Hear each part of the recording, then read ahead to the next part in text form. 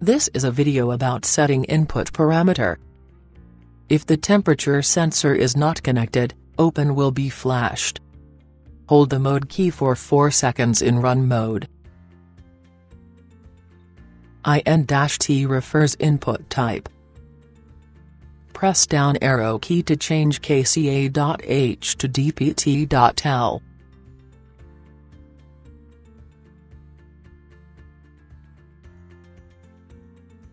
Press the mode key.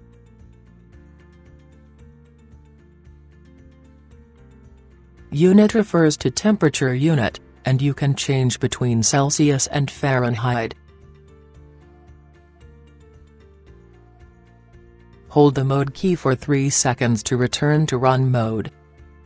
If the temperature sensor is connected properly, the temperature will be displayed. If you need to correct the temperature, hold the mode key for 4 seconds. Press the mode key twice. IN-B refers to input bias. The displayed temperature value is measured temperature 27.2 degree, plus input bias minus 0.2 value.